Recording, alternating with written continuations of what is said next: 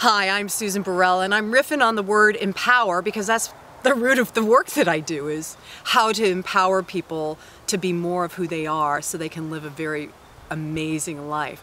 So I broke down the word empower. E is for esteem, M is for movement or change, P is for purpose, O is for ownership, W is for wonder, and the next E is for emancipation.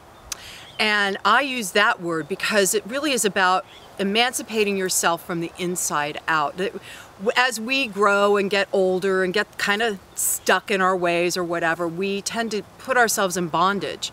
Uh, whether it's in uh, reaction to someone else's opinion about us or our own low self-esteem or devalued, uh, the word emancipate means to release from bondage.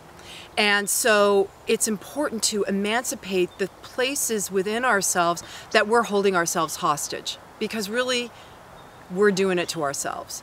And when you can free yourself from that place of, uh, of feeling bound and unable to move, unable to change, unable to love yourself, then the freedom that comes from that emancipation within is huge. And believe me, I know it because I have lived it personally. Have ha I have had to see where I had myself held in bondage and where where the chains were keeping me stuck in one place and I had to learn how to free myself from all of that so that I could live a life that is really uh, opulent. It's just rich.